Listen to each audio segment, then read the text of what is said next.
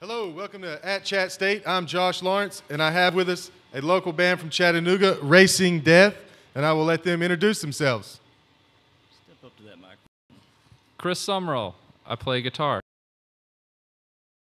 Greg Hollywood Henry. I play the bass.